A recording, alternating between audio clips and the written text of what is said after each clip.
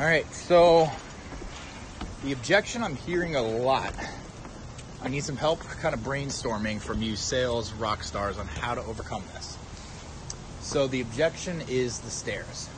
These are super, super high-end units, and some of them have elevators, which basically handles the objection.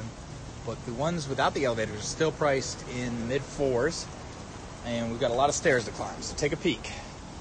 We're going to take um most favorable thought process through the front door.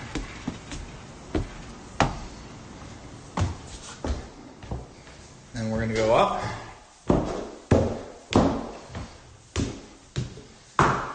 And finished storage is what you walk into, which is nice. You makes your coat closet. You can do some built-ins there, right off your entryway, since there's no elevator.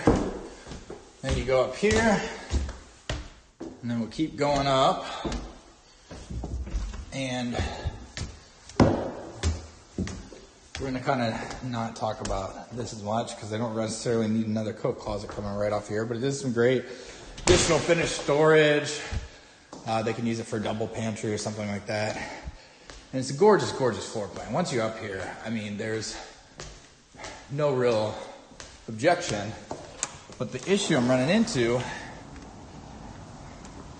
is that people are turned off before they even walk up here. They see the stairs and they immediately write it off as outside of the realm of possibility.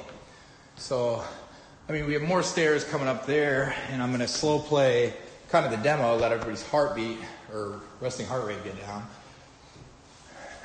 But they're thinking they don't even want it before they get up here. How do we overcome that? Your turn, go.